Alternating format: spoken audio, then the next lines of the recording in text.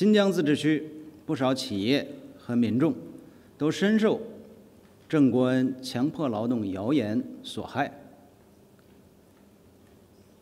无故蒙受了很大的损失，对这种恶意抹黑的行径深恶痛绝。此次他们采用法律手段对郑国恩提起起诉，反映出中国民众的法治意识。和维权意识增强，我们对此表示支持。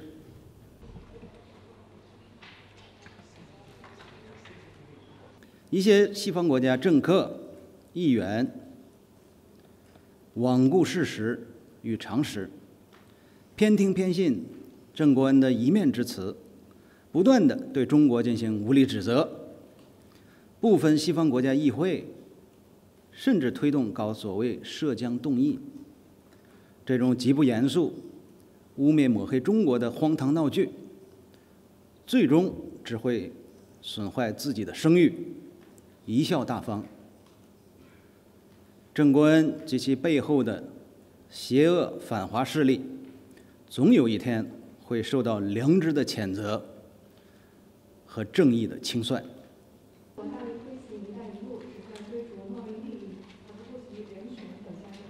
造成当前两岸关系紧张动荡的根源，是民进党当局。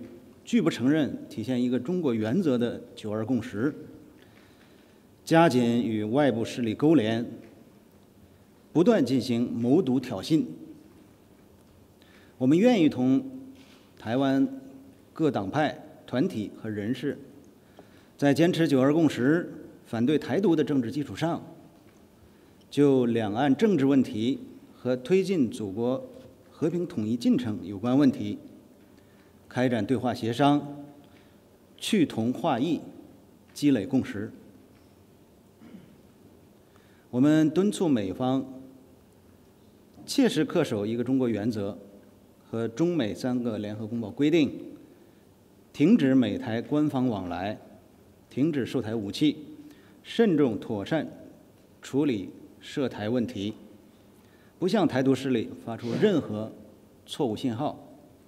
以免损害中美关系和台海和平稳定。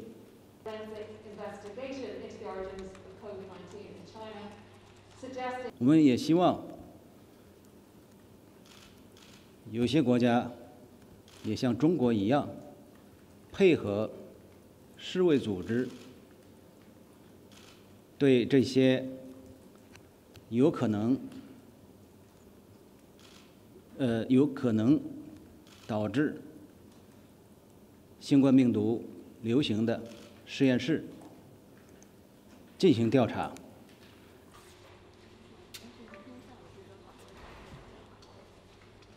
我们对英国通信管理局有关决定表示关切，坚决反对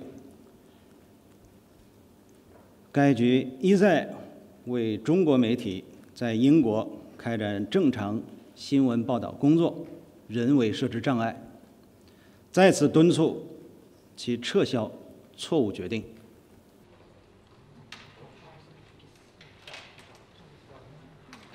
此次，该局再次执意执意作出错误判罚的决定，反映了他对中国抱持的强烈意识形态偏见。是赤裸裸的政治打压，荒唐可笑。英国通信管理局应该做的，是对一些英媒长期以来涉华涉港、失实、虚假报道进行查处。中方敦促英国通信管理局。及英方某些人立即停止政治操弄，纠正错误。中方保留进一步作出正当和必要反应的权利。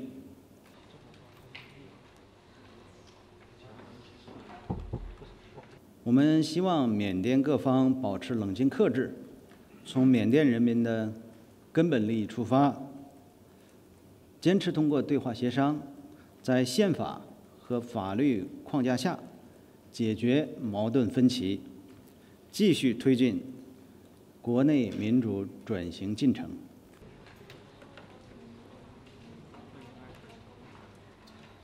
他们的呼吁毫无道理，这是明显的干涉中国内政、干涉香港事务的行径。中国全国人大从国家层面完善香港特区选举制度，是履行宪法赋予的权利和责任，有利于推进“一国两制”事业，保持香港长治久安。这完全合宪合法、正当合理。